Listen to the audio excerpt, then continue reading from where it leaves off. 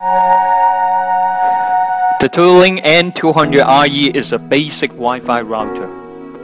Delivers 300 megabits per second wireless speed, equal with two high-performance Ethernets and four LAN ports. It is perfect solution for general home use.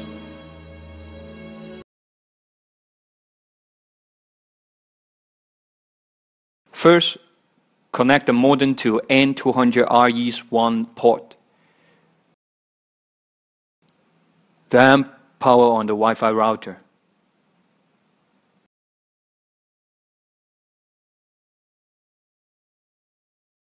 For Wi connection, please connect your router's LAN port to your PC network interface.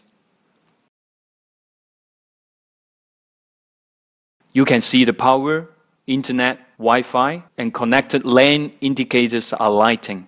The CPU is flashing. That means your router is working normally. Open any browser, type in 192.168.1.1. Enter admin for username, admin for password. Here you can see N200RE provides one-page easy setup for quick settings. First, choose the internet mode and enter connect user account and password provided by your ISP. Then set up the virus SSID and password.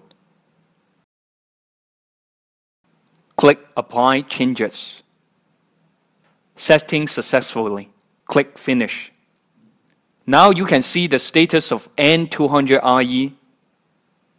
Try any website to test the internet.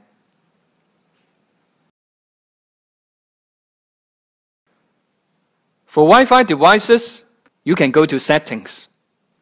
Click Wi-Fi. Choose TOTOLINK N200RE. Enter the password you set.